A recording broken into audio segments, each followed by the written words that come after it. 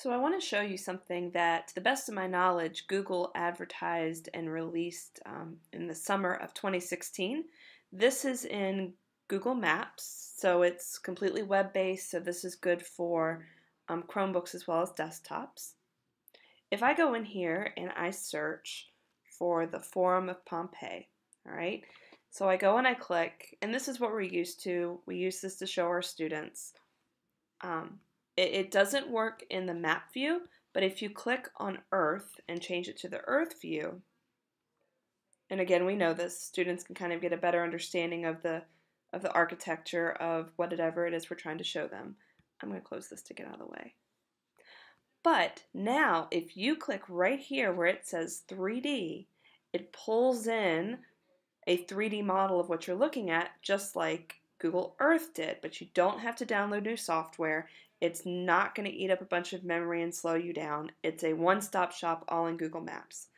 Um, and then you'll see here it also says that when we're in there, if you hold down the control key while you're clicking or moving the trackpad, it'll help you to tilt and zoom a little bit. All right, so watch this.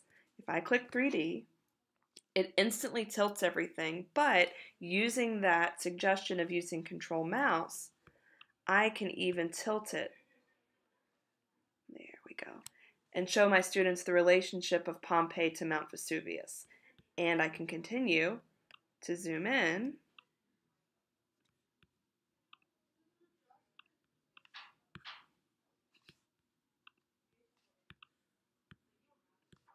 And give them a little bit more of a virtual field trip from here with inside of Pompeii so I can show them the forum and explain the structure of a forum. Um, I can even spin it around to give them an understanding of what the ruins look like. I can pick it up and spin it around a little bit. You can see I'm finally getting a little better buffer here. So look at the clarity and depth of here and give students an understanding of the size and scope. Then I'm going to come over here and show them the amphitheater, oops, the amphitheater and the sports arena.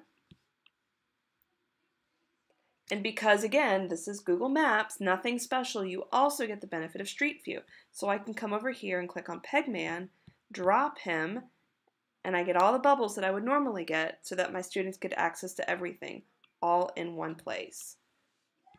This is absolutely amazing. It takes all of my favorite components of Google Maps, Google Street View, Google Earth, and puts it in one website to truly create quick, easy, accessible virtual field trips.